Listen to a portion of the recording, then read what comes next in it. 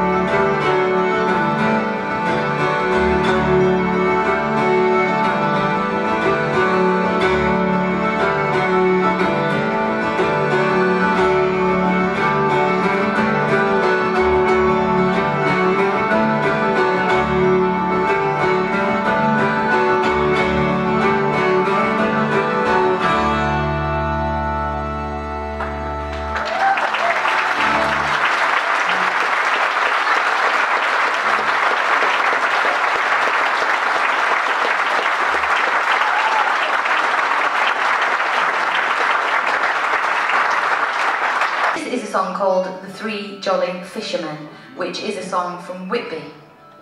And I know it to be so because um, I used to go to Whitby um, just about every year of my life from, the, from birth until about 18 or 19.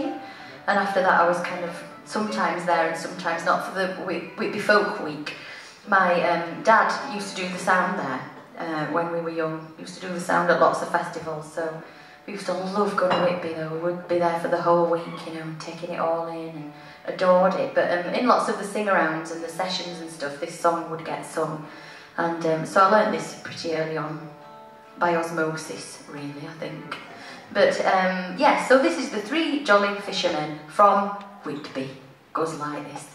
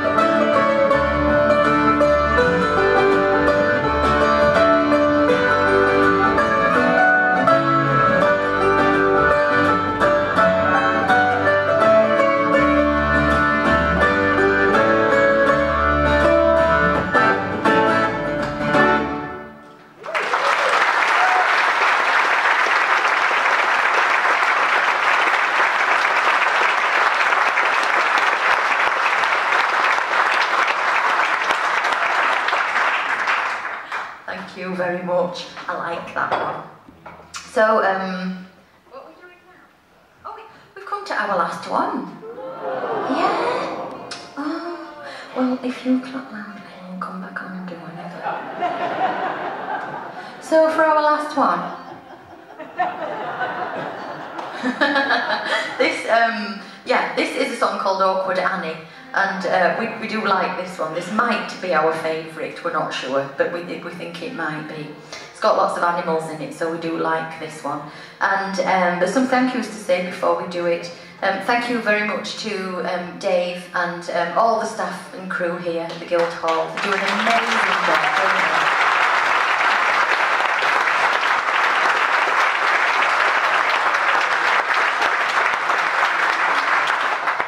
getting um, harder and harder to um, put on live music. So you are a brave man. Thank you very much for having us back and keep it up. And um, yes, and also thanks to our crew, which today has been um, James and Alison and Pete and uh, my little brother Joe Rusby who's done the sound this evening. So thank you very much to all them too.